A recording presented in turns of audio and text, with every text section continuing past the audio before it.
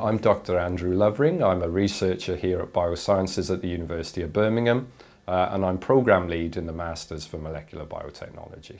Biotechnology as a whole is unique because you have to mix the pure and the applied and they mix very well on this course.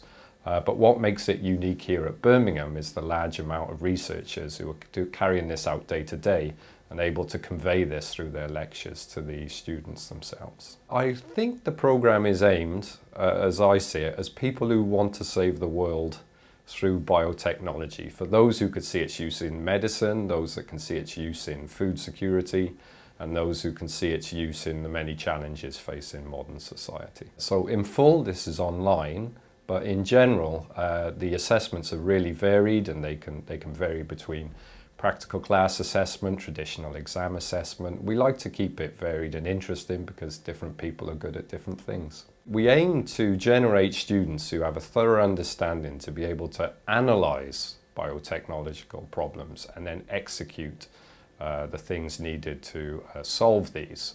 Uh, and we see this in students that come through our research project where they both have to understand the material and carry out time in the lab. They should choose the course because it's, it's just incredibly interesting thing that, as I mentioned, can save, save the world in, in essence of the problems facing us.